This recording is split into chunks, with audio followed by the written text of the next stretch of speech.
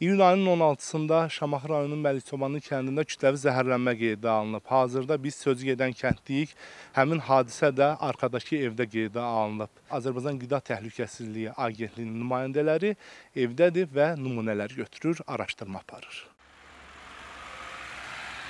16.07.2024 tarixində gecə saat e, 12 radələrində Məlikçobanlı kənd sakinləri kütləvi zəhərlənmə ilə acil şöbəsinə müraciət etmişlər. Bunlardan 21 nəfər olmaqla 7-si az yaşlı uşaq, 11 nəfər qadın, 10 nəfər kişi xeylağı olmuşdur. Xəstələrə ilkin tibbi yardım göstərilmiş və ambulator müalicə üçün evə buraxılmışdılar. Şamaxıda baş verən hadisənin səbəblərinin araşdırılması məqsədi ilə Qida Təhlükəsizliyi Agentliyinin mütəxəssisləri tərəfindən müvafiq qurumların əməkdaşları ilə birgə araşdırmalara başlanılıb.